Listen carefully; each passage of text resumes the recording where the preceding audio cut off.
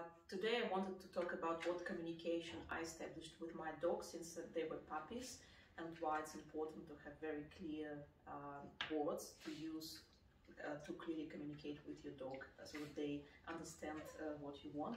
The first key word is the word yes and this is what I use to mark uh, the behavior that I want and that I want the dog to continue and this word always is always followed by a treat. The dog understands that whenever I say yes, there's always be the treat. And this is like a promise that you never break. I need a drop.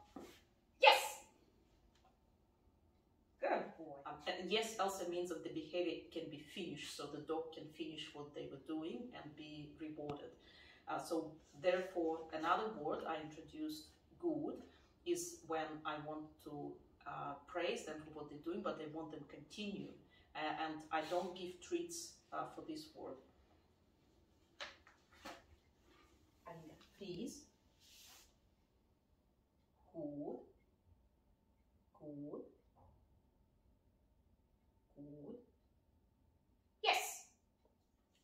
So you see that he, he understands that it's he's doing the right thing, but I just want him to continue, continue until I release him with, for example, a yes word.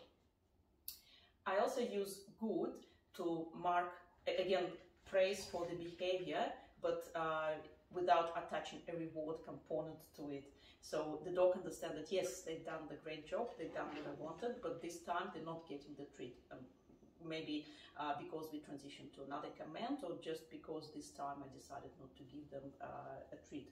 So I just tell it with a different voice to mark where it means the continuation or where it means, yeah, well done, but you're not getting the treat.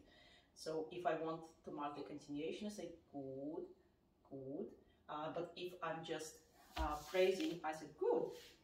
And it can be good boy or good girl. Jump, good, jump, good boy. Go.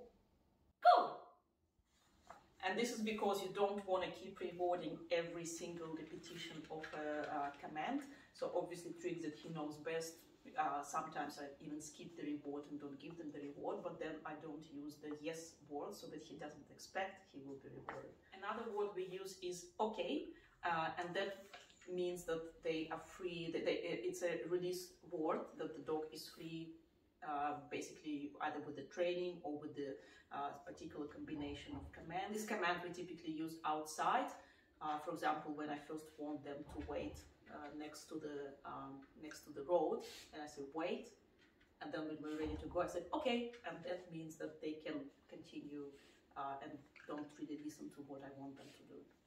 I also use the word no, but not in a negative way, uh, but just to direct them that this is not really the behavior that I wanted, just so they understand, oh, they need to try something else, or they really need to listen and see there is something else that I want them to do and I use it in a normal voice um, and usually to direct uh, the dog when we're learning a new trick, um, directing them whether they're doing the right thing or not the right thing. Нет. Ваньки. I say no in Russian as нет. Yes! Good boy! And finally, when I need to use a negative uh, word uh, or command to interact the unwanted behavior to stop them. Ah, ah, ah, ah! Ah! We use the word, uh, not the word, but uh, um, just ah in the very harsh uh, voice. Ah!